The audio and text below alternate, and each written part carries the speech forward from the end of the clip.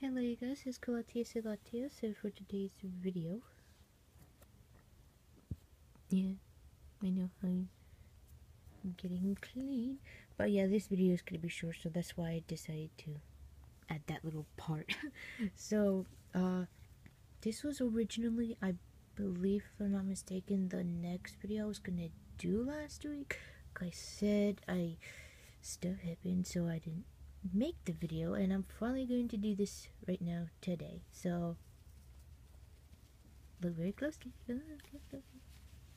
Yeah. I have not still I didn't even know they have Winnie uh no not Winnie the Pooh. Of course I have Tigger and the other one, Piglet. Of course they would have them as Tsum Tsums. I am so dumb.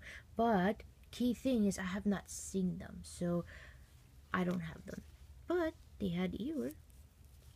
So I know it's like kind of difficult. Like his face doesn't even look like a face. It just looks weird. But nonetheless, I still bought it. Is that supposed to be his mouth? I don't know. That's what he looked like when I had researched him because I did not know how to spell his name.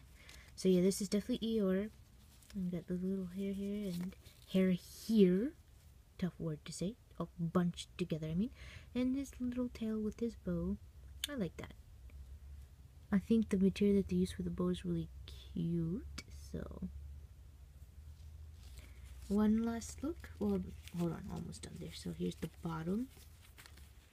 There we go. Had trouble doing that. The ears. He, just.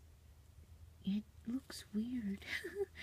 and that's it yeah, like I said, short video. So there you have it, guys. I hope that you uh, enjoyed this video, and I'm finally happy that I made this Eeyore. So see you with more videos. Bye. I hope to find Piglet and Tigger, Tiger, Tigger. Yep. E-aw, E-R, e-aw. E-R.